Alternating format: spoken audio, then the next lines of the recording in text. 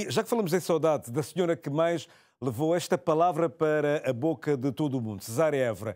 Neste fim de semana aconteceu um encontro intimista, eh, uma tarde intimista para celebrarmos Cesária Évora. É que se ela fosse viva, na terça-feira celebraria 83 anos. Para a neta, a cantora que organizou esta tarde intimista com, um, eh, para lembrarmos a CIS, é uma questão de dignidade se o governo abraçasse o projeto Museu Cesária Évora que ela tanto quer implementar.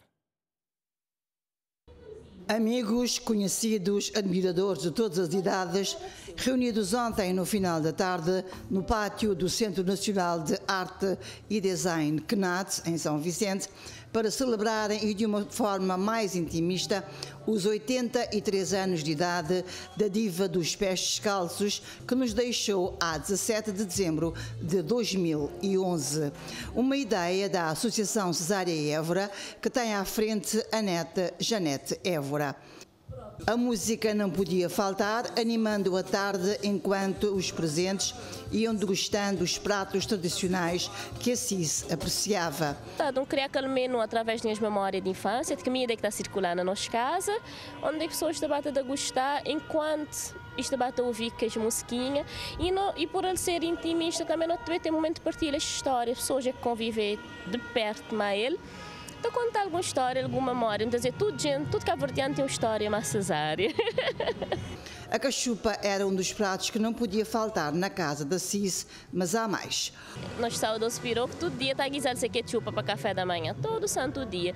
Mas tinha também peixe frito, que está a faltar papa de milho, frisnote, que cozinha de chupa. Outra grande verdade é que na casa da Cis a comida era para tudo filho de cristão. Sempre não tive que espanelar, panela tropa, Mônica tá mas já teve uma altura que não está mora mesmo traz tropa, que estava a buscar panela lá, que os dias que está dizendo ainda mais tio. Então estava dizer lá, ela era um banco alimentar.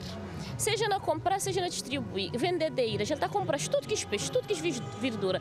Vá para casa, baixa para os filhos, mas tá ele está a comprar ele tudo. Nisso ele tinha que distribuir. Mesmo não tinha os três já, que a outra pensar que era, não já era distribuidor de comida. Janete Évora não deixou escapar em conversa com a TCV a mágoa da família e passados 12 anos sob o desaparecimento físico da Cesária Évora, de verem realizado o sonho da casa onde ela viveu ser transformada no museu. É triste para nós, apesar que ele é uma propriedade privada, claro, ele é um espalho da família, mas sempre não mostra abertura para o Estado e nós vontade de lá ser o museu. Tanto é que foi inaugurado o núcleo museológico para ser um núcleo para o Museu Cesária Évora. No entanto, coisas nunca mais andaram. O projeto inicial ficou bloqueado muito por conta do antigo ministro da Cultura. Ainda assim diz, a esperança é a última a morrer. Nota que um ministro novo sempre tem um ar de esperança, aquele frescura de esperança e não, não continua a esperança. Minto já, Cesária, tão longe que leva a Cabo Verde, para ser magnitude, era para o Estado abraçar e fazê-lo. Então nem precisa ficar nesse braço ferro.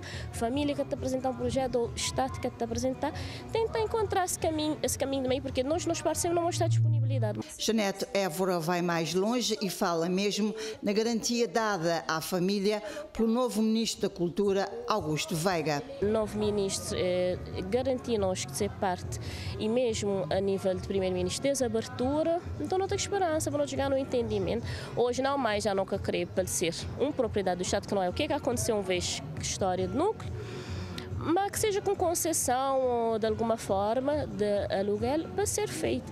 Se, se nunca conseguir, ah, já nunca te espera mais 13 anos, nem a cabeça no máximo um ano. Caso contrário, não te partir para uma iniciativa privada, moda que não falava o que de Cesária tem a manos para tudo parte do mundo. Se cada cabo-verdiana que tem amor para si dar 10 escuta, não está conseguindo fazer lá um projeto sério. Ainda assim, Janete Évora acredita que, sendo algo com o nome Cesária Évora, era nada mais do que uma questão de dignidade se o governo agarrasse o projeto do museu. E foi não abrir um crowdfund para fazer um museu Cesária Évora. Caso é espolhe que isto de mais valor é gordote em lugares seguros. Na casa ainda tem muita coisa que pode ser utilizada. E principalmente que os discos de roupas, coisas de casa, que ele estava a usar aquelas coisas peculiares. Lá na palha não tem dois discos, duas cadeiras, que já é quadro, na verdade, de entrada nas casas, que tem uma mesa. Ele estava a uma entrevista da ele, então não tem coisinhas eh, peculiares dessa história e que te dá para contar muita história. A casa mesmo, hoje a ideia como tem aquela casa, não é um museu como um museu estático, parote, que seja um guest house, um, um, um casa de residência artística, imagina, para grupos do mundo inteiro, bem fechado fazer lá. E para ter aquele lote sempre de restauração de comida e com loja de souvenir. Ao mesmo tempo que ele parte de baixo poder ter exposição, para pessoas visitar, olhar, mas já naquele conceito, aquele museu triste, que passou lá, balé, para ser dinâmico, interativo.